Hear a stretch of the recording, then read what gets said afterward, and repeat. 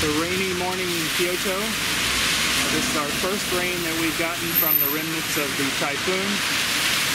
It's uh, Thursday morning, July 10th, and we've arrived at the Nishijin Textile Center just a few minutes before it opens.